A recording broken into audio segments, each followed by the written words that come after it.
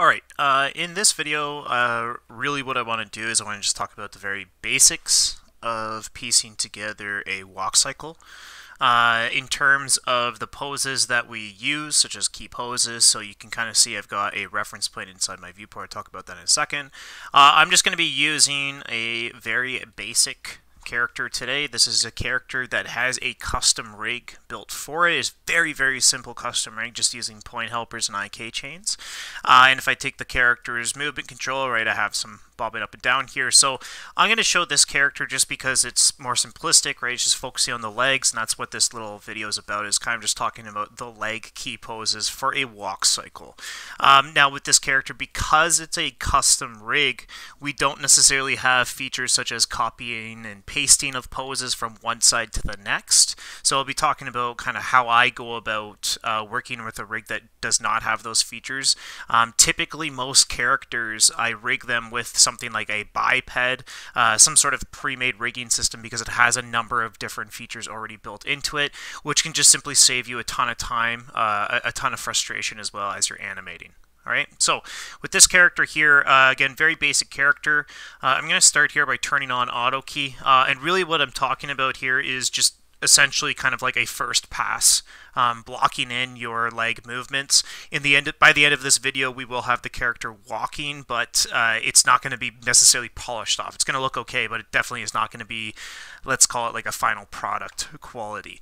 So we start with uh, essentially just kind of breaking down the poses, right? These are key poses that we typically work with um, for a walk cycle. I usually start students with an image first before we actually hop into any sort of like real life reference because a lot of times um, you might be looking at reference but you might not actually understand what poses you're looking for so if I am looking at reference um, typically I'm utilizing this little image here to kind of help me with the poses that I'm looking for in that reference footage so for the the simplicity of the lesson, I'm just going to use the image, right? I'm just going to use the angles and the legs here, and I'm going to justify this onto my character. Now, when you're using reference though you got to understand the anatomy of the character that you're animating might not be the same as the anatomy of the character in your reference. So for instance the length of legs um, the, you know, just the overall volume of different areas of the character's body right? It's going to be different.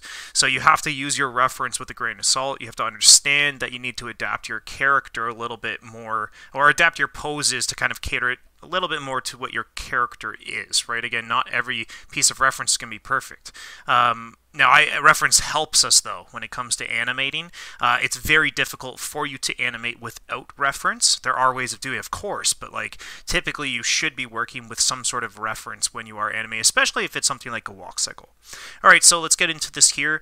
Um, I'm going to start inside my left view. Uh, I have my reference plane kind of set up here where this drawn out line in the reference is actually kind of lined up with my grid, right? If I hit G on the keyboard, kind of turn that on and off, I can see the grid here the ground. So we're currently working with 30 frames. Um, we'll change that as we go. Uh, as we're working right now, really what I'm focused on is my first key poses, which is going to be our first step. Again, with a walk cycle, run cycle, any sort of cycle, uh, it's a looping animation, right? So we're working with just simply two steps here. Those two steps will then be looped, and then the movement forward of the character, side to side, left, whatever direction, all of that is driven by the character controller in the game engine itself, right? So we're not actually moving the character positionally forward, right? We're not doing that, right? We are just simply having our character walk in place. So I'm going to start with my contact pose here. Again, it's really important that we understand the head height positioning of all these different poses. You can see this kind of like loose curve that's being created, this S-like curve. It's important that we do get that movement in our character's body, right? So I'm, I mainly look at the head height, but ultimately what you're doing is you're changing the center of gravity's position, right? You're either moving your character up or you're moving your character down for the specific animation here, this specific example. So I'm going to start just by kind of lowering my character down a little bit here.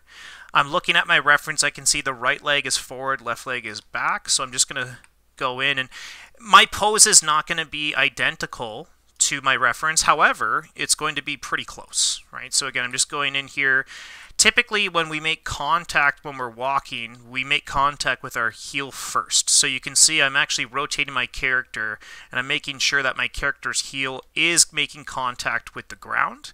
And we can see the angle of the foot for this back leg here. So I'm just going to go ahead and rotate that, rotate my toes up like so.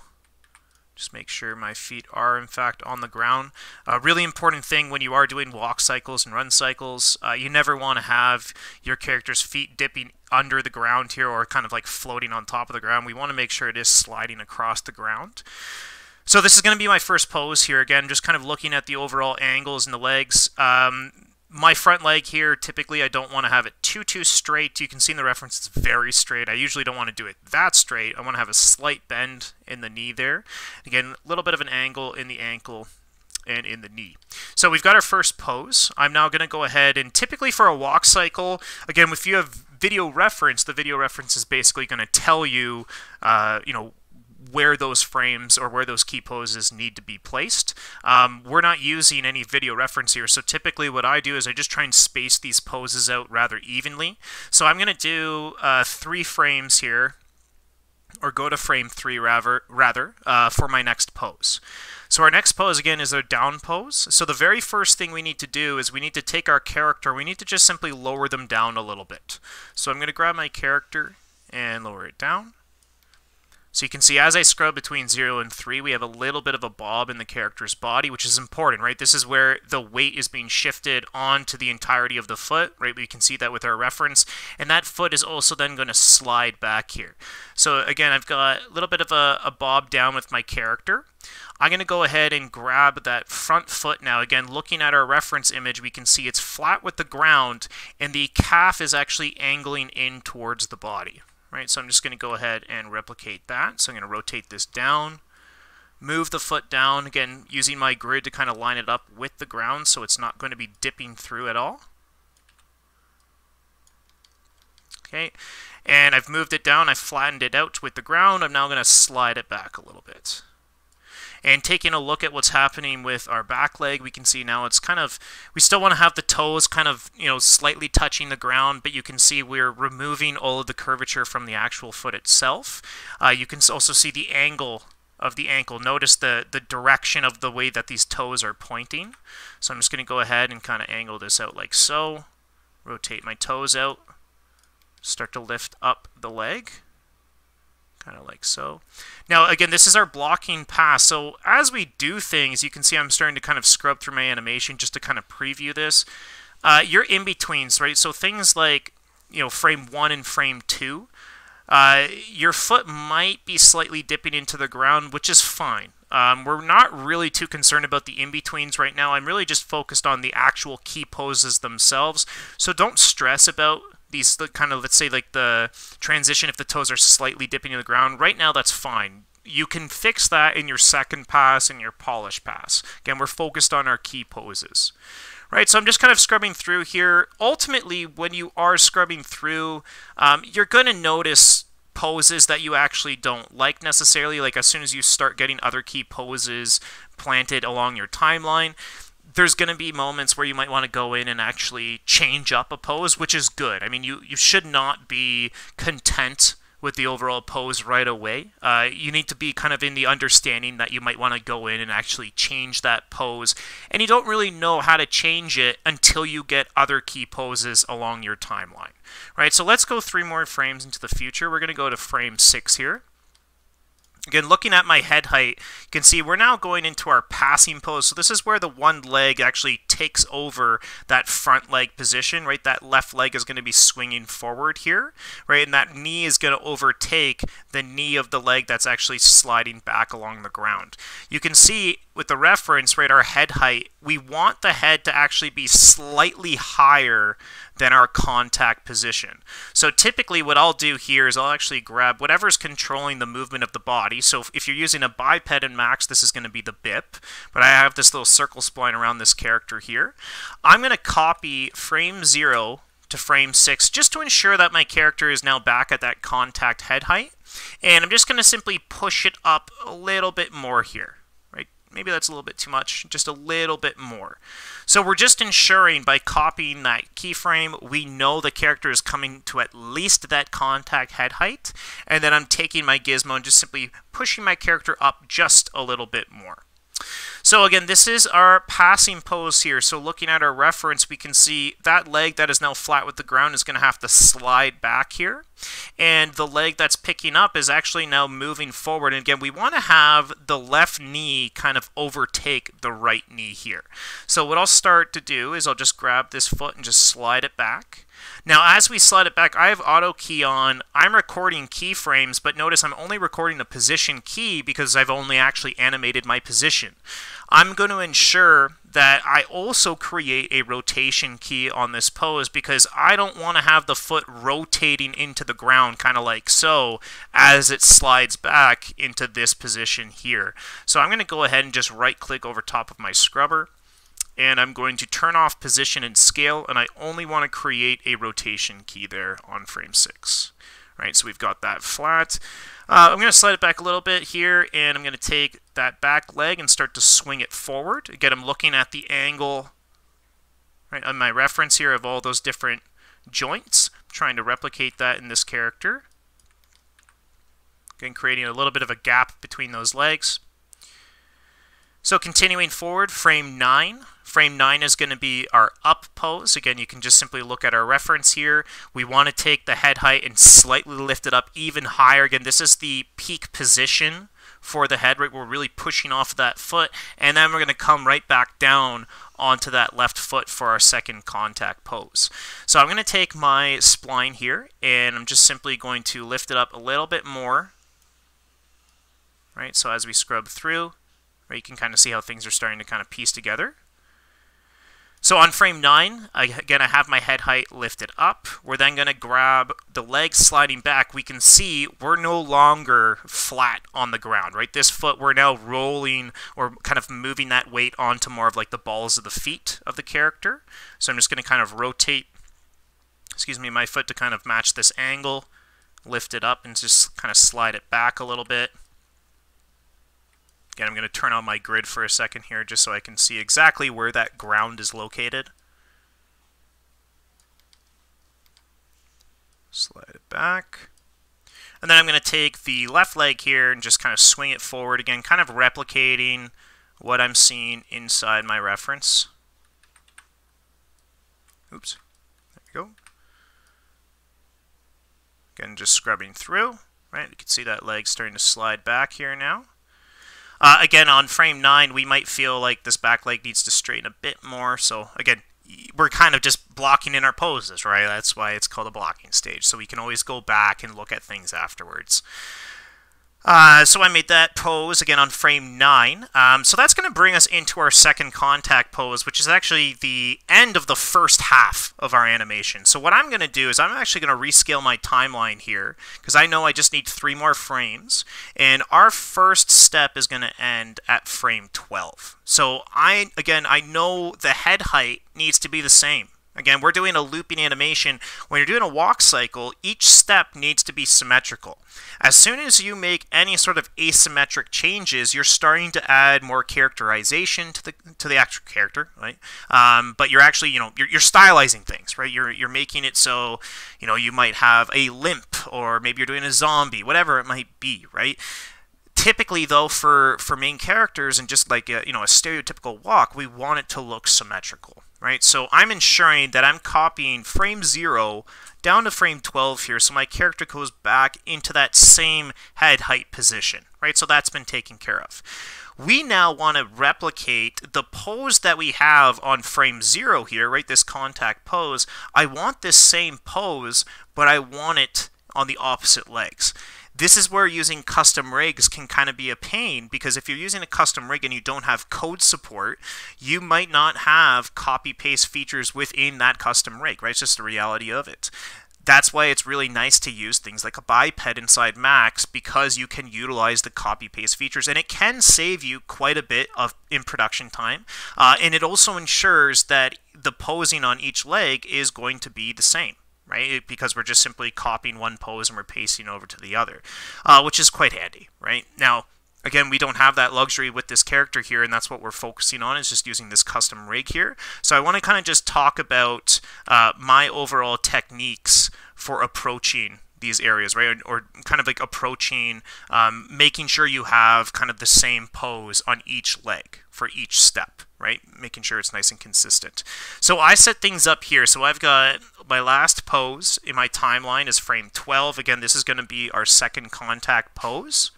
Uh, on frame zero, we have our original contact pose. So again, what I would like to do is I want to use my period and comma keys on the keyboard, and it actually allows me to go between those two frames, right? And I'm actually flickering from 12 to 0 here, right? Beginning of my animation to the end of the animation. So I can see the poses, right? I can see the differences. And what we're going to do is I'm going to grab my front leg here, and as I flicker, so this is frame zero, I want to replicate the pose of this front leg that I currently have on frame zero, except I want to do it on frame 12 with the opposite leg. So I'm going to grab that leg and I'm just going to simply start moving it into position here. Like so. Again, once I start moving it in, I can kind of just flicker back and forth. Again, kind of see the differences between the two. Uh, for video's sake, I'm not going to spend too long trying to make this quote-unquote perfect. And there might be better ways of doing this too. Uh, this is just simply the way that I approach this. So you can see there's a little bit of a twitch in that ankle. Right, but again, pretty much the same pose. And I want to do the same thing with the opposite leg here. Right, so I'm going to grab the foot. Again, we can see what we need here for this pose. Looks like we might actually want to, I want to take my foot, kind of just slide it forward just a little bit. That way it has a little bit more distance to travel to frame 12. So I'm just going to pull it back. To angle up the foot. Again, making sure that foot is in fact flat on the ground.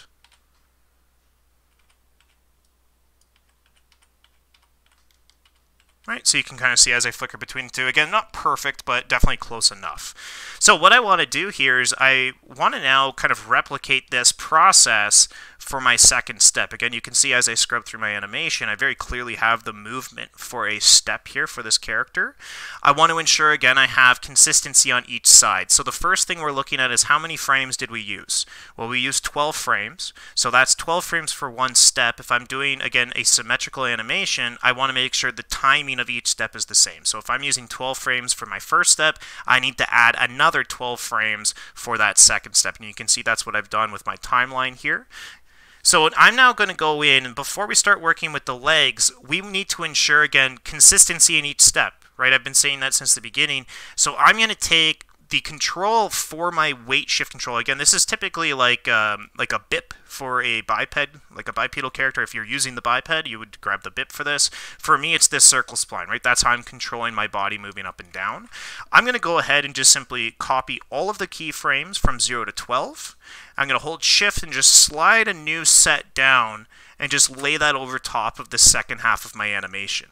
So if we press play here, we kind of have like a step and a bob up and down. And again, by copying this, all we're doing is just simply ensuring that the head height is going to be the same with each step. Again, consistency for having a nice symmetrical walk. So that's been taken care of. Now, what we're going to do is the same thing that I just did for my contact pose. I'm going to replicate that process all the way down my timeline for all these new poses. So we're going to line up frame 15 and frame 3 here. Again, this is going to be our down pose. So we're going to go into our left view. Again, this is frame 3. We can see the pose that we want to have, and then we can see what we currently have here. Right. So again, I'm just going through, going to roughly place my pose here. I typically kind of move it uh, kind of more into the position that I feel like it needs to be first before I start flickering between the two frames. Again, just kind of sliding it down, going back and forth here. You can see I need to move it back a bit more. Right, so once you see minimal movement, that's good. Grab the other leg now. Again, looks like I need to rotate this back. Slide this back like so. Again, start flickering.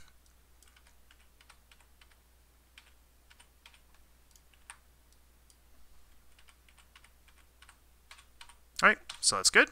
So I'm going to keep on doing this now, right? So I'm just going to hold down on Control and Alt, and then I'm going to click down with my middle mouse button. Just simply slide down my timeline, right? So we're done with our down pose. We're now looking at the passing pose. Again, the passing pose on frame 6 for the first half of our animation is here. We now need to do that pose on frame 18. And again, it's replicating the same process. Now notice I'm not grabbing my my like circle spline control, like my weight shift control. That's already been taken care of, right? That's why we copied and pasted those keys, right? Just to ensure that we don't have to go in and make any more changes. Just want to create a rotation key here for my toe. Again, taking a look, oopsies, taking a look at our leg moving forward here.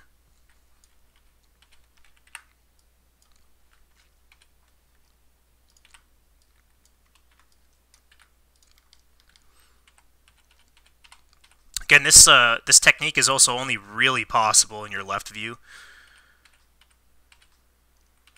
Could be wrong there, but... Alright, so again, we've got that. Let's just take this, move it down a little bit. Continuing on, right? Just simply moving on down once we're done with our passing pose. We're doing the same here with our up pose. And really just kind of replicating the process at this point.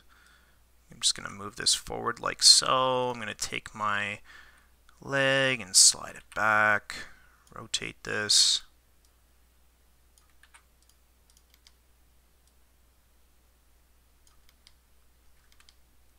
Again, once we think we have a pose here, kind of just go back and forth.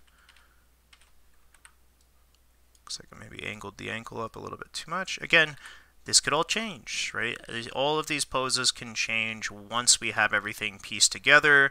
We're then going to press play and we're going to see what we got and then we make our decision afterwards.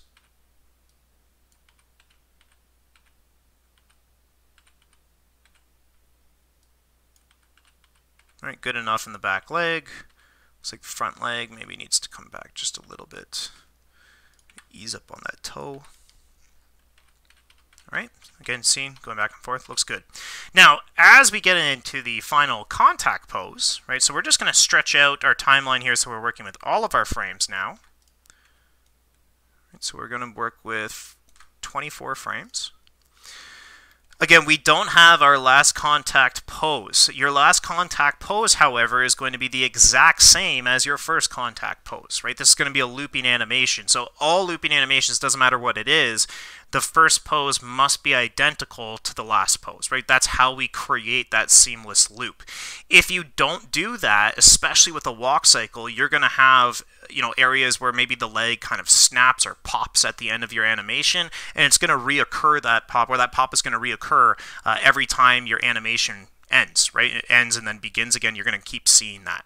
So what we're going to do here is I'm actually just going to simply lasso select my whole character just so that I'm selecting all of my rigging components.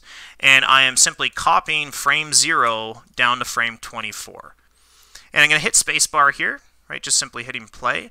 And at this point, again, this is our blocking pass, so it's not going to look perfect, right? You can kind of see I've got areas where the foot kind of slides back, that, you know, there's a little bit of a jitter in that foot. Now is the time where I'm going to have to go in and polish off the cycle, right? I'm going to look at my poses, feel, you know, any areas that I feel like look abnormal or might have you know, again, like speed bumps is typically what I say if I'm looking at the curves, right? I might have some speed bumps in those in those curves that I want to go in and kind of smoothen out a little bit. But again, this is just simply how you go in and kind of start with a walk cycle here. And this exact same process can be taken for even like a biped character, right? You wouldn't have to do that same process where you're trying to go in and match the poses. You could just simply use the copy paste features.